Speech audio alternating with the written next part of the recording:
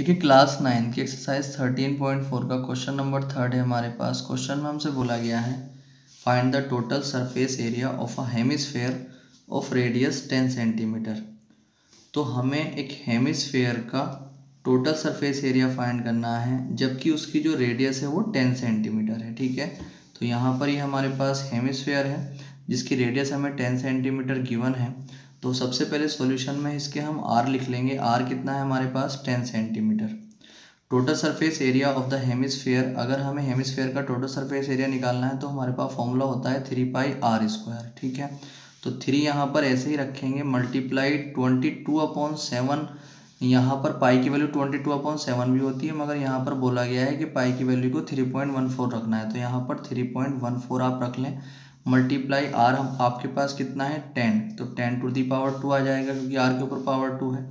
तो three multiply three point one four को ऐसे ही रखें।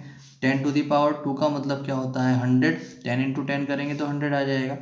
थ्री मल्टीप्लाई जब थ्री पॉइंट वन फोर की मल्टीप्लाई हंड्रेड से आप करेंगे तो ये थ्री वन फोर आ जाएगा। टू डी आगे चला जाएगा जो है पॉइंट जब क्योंकि हंड्रेड से मल्टीप्लाई हो रही है हंड्रेड में टू ज़ीरो है।